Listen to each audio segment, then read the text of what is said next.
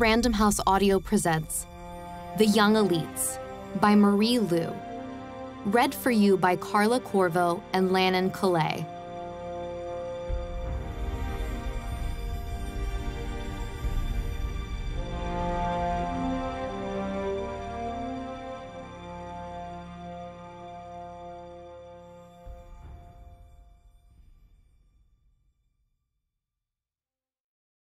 Four hundred have died here.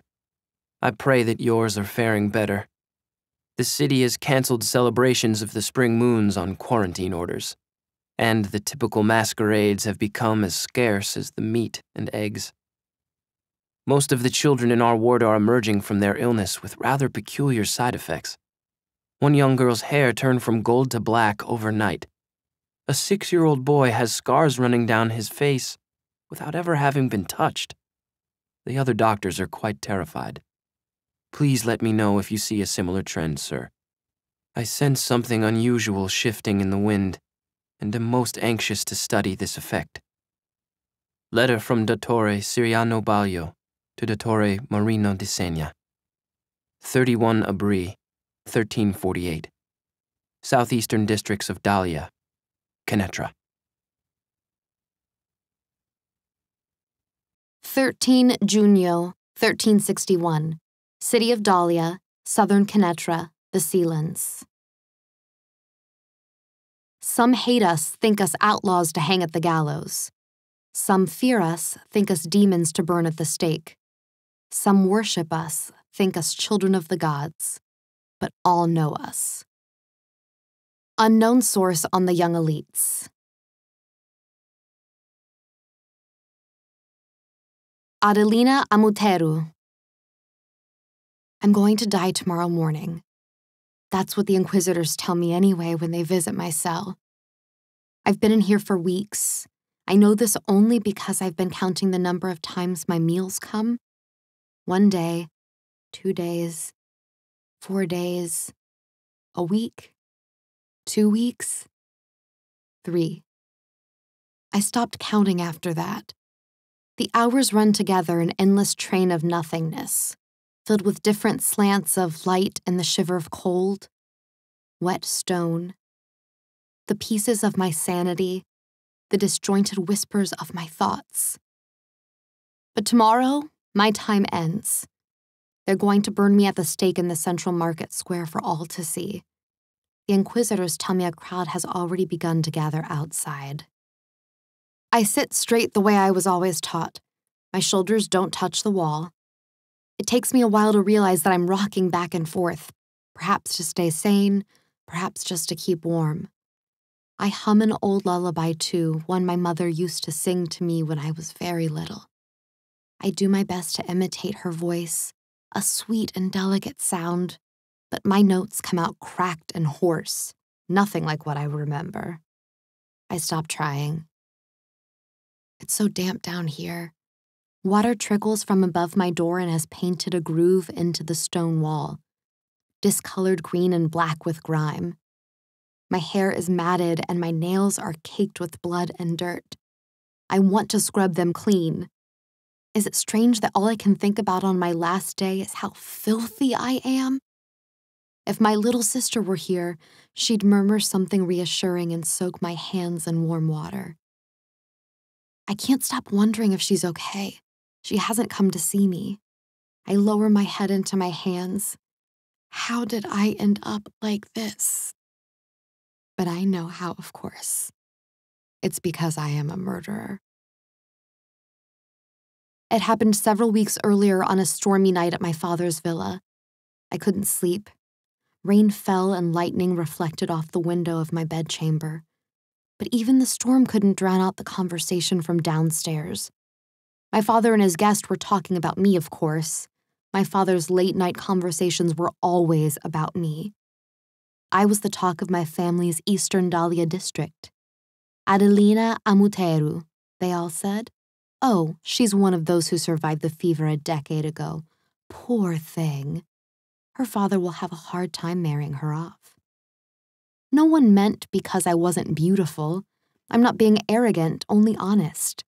My nursemaid once told me that any man who'd ever laid eyes on my late mother was now waiting curiously to see how her two daughters would blossom into women. My younger sister, Violetta, was only 14 and already the budding image of perfection. Unlike me, Violetta had inherited our mother's rosy temperament and innocent charm. She'd kiss my cheeks and laugh and twirl and dream. When we were very small, we'd sit together in the garden and she would braid periwinkles into my hair. I would sing to her. She would make up games. We loved each other once. My father would bring Violetta jewels and watch her clap her hands in delight as he strung them around her neck. He would buy her exquisite dresses that arrived in port from the farthest ends of the world. He would tell her stories and kiss her goodnight. He would remind her how beautiful she was, how far she would raise our family standing with a good marriage, how she could attract princes and kings if she desired. Violetta already had a line of suitors eager to secure her hand, and my father would tell each of them to be patient, that they could not marry her until she turned 17. What a caring father, everyone thought. Of course, Violetta didn't escape all of my father's cruelty. He purposely bought her dresses that were tight and painful. He enjoyed seeing her feet bleed from the hard jeweled shoes he encouraged her to wear. Still, he loved her in his own way. It's different, you see, because she was his investment. I was another story. Unlike my sister, blessed with shining black hair to complement her dark eyes and rich olive skin, I am flawed. And by flawed, I mean this. When I was four years old, the blood fever reached its peak, and everyone in Kenettra barred their homes in a state of panic. No use. My mother, sister, and I all came down with the fever. You could always tell who was infected. Strange, mottled patterns showed up on our skin. Our hair and lashes flitted from one color to another, and pink blood tinged tears ran from our eyes. I still remember the smell of sickness in our house, the burn of brandy on my lips. My left eye became so swollen that a doctor had to remove it. He did it with a red hot knife and a pair of burning tongs. So, yes, you could say I'm flawed, marked, a malfetto. While my sister emerged from her fever unscathed, I now have only a scar where my left eye used to be. While my sister's hair remained a glossy black, the strands of my hair and lashes turned a strange, ever shifting silver, so that in the sunlight they look close to white, like a winter moon, and in the dark they changed to a deep gray, shimmering silk spun from metal. At least I fared better than Mother did. Mother, like every infected adult, died. I remember crying in her empty bedchamber each night, wishing the fever had taken father instead. My father and his mysterious guests were still talking downstairs. My curiosity got the best of me, and I swung my legs over the side of my bed, crept toward my chamber door on light feet, and opened it a crack. Dim candlelight illuminated the hall outside. Below, my father sat across from a tall, broad shouldered man with graying hair at his temples his hair tied back at the nape of his neck in a short, customary tail, the velvet of his coat shining black and orange in the light. My father's coat was velvet too, but the material was worn thin. Before the blood fever crippled our country, his clothes would have been as luxurious as his guests. But now, it's hard to keep good trade relations when you have a malfetto daughter tainting your family's name. Both men drank wine. Father must be in a negotiating mood tonight, I thought to have tapped one of our last good casks.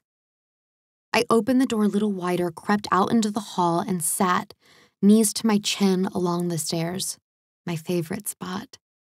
Sometimes I pretend I was a queen and that I stood here on a palace balcony looking down at my groveling subjects. Now I took up my usual crouch and listened closely to the conversation downstairs. As always, I made sure my hair covered my scar. My hand rested awkwardly on the staircase. My father had broken my fourth finger, and it never healed straight. Even now, I could not curl it properly around the railing. I don't mean to insult you, Master Amouteru, the man said to my father. You were a merchant of good reputation, but that was a long time ago. I don't want to be seen doing business with a Malfetto family. Bad luck, you know. There's little you can offer me. My father kept a smile on his face, the forced smile of a business transaction. There are still lenders in town who work with me. I can pay you back as soon as the port traffic picks up. We hope you enjoyed this preview. To continue listening to this audiobook on Google Play Books, use the link in the video description.